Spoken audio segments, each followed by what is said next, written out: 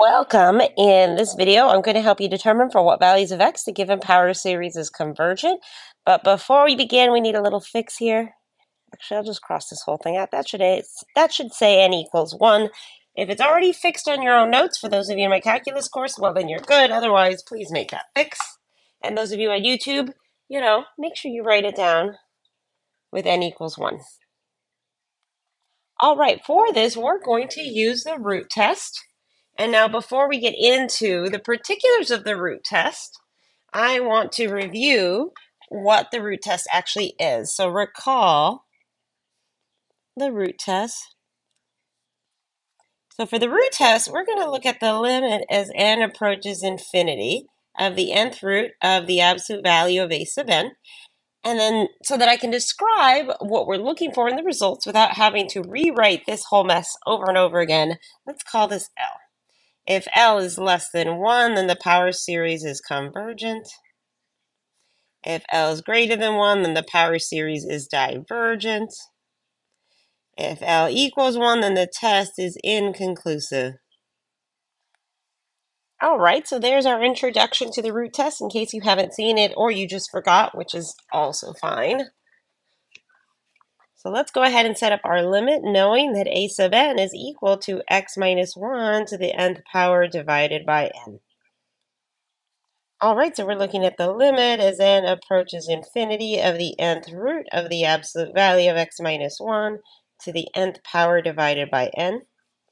Well, this is equal now to the limit as n approaches infinity. And all I'm really doing in this step is just simplifying this as best I can algebraically so this is the absolute value of x minus 1 in the numerator, and in my denominator I have n to the 1 over n power.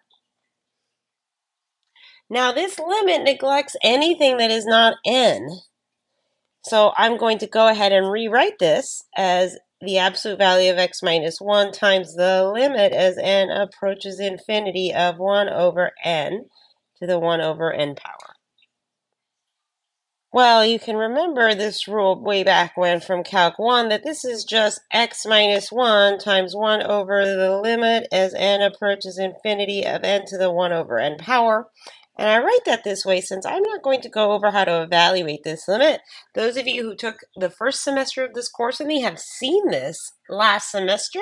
You can go back and review your old notes, or um, there should be a card popping up, and I can't remember which side it's on, one of those two sides, and it'll have a link to just a video on evaluating this limit so if you remember how to do it, great. Just keep watching this video. If you don't, please rewatch the video that's coming up at the top of your screen, that video link. Either way, I'm going to write out what this is. So the limit as n approaches infinity of n to the 1 over n power is equal to 1. Okay, so this is just the absolute value of x minus 1 times 1, which is just itself. This will converge so long as this is less than 1. Well, what does this tell us? Well, this can be equivalently written as negative 1 is less than x minus 1 is less than 1. So adding 1 to all three parts of this equality, we end up with 0 is less than x minus 1 is less than 2.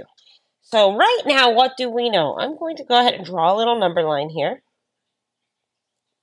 Oh, oh, actually, before I do that, look, I added one to every side but didn't denote that here. Woo, let me erase that. There we go. So what we're saying is here's 0, here's 2. I know this whole series, power series, is convergent here. So everywhere I see pink, I know there's convergence. So now I'm curious about the endpoints. What about at 0 and what about at 2? Well, for that, let's apply other tests. Okay, as you can see, I quickly just made a little bit of space here. If x equals 0, what do we end up with? We have the sum from 1 to infinity of 0 minus 1 to the nth power over n. This is the sum from n equals 1 to infinity of negative 1 to the nth power over n. This is the alternating harmonic series. Those of you in my calculus course have already seen this. The alternating harmonic series converges. Okay, so that tells me that I have convergence here at zero. So I'm going to go ahead and drop a little underline there in my inequality. Now let's look at the case where x equals 2. Not 12. I don't know why I wrote 12, but 2. So this is the sum from n equals 1 to infinity of 2 minus 1 to the nth power over n. Well, that's just the sum of 1 over n. This is the harmonic series. Those of you, again, in my calculus course have already seen this. And the harmonic series diverges. So here on my number line, I'm going to pop open um, that open dot there. And that means I'm not going to drop an underline here. We don't need it. So let's go ahead and write out our conclusion now. Okay, so my conclusion, I'm going to pop it right here in this red box, just for organization's sake. The interval of convergence for this power series is between 0 and 2. And the radius of convergence, r, is equal to 1. And with that, here is a quarantine throwback.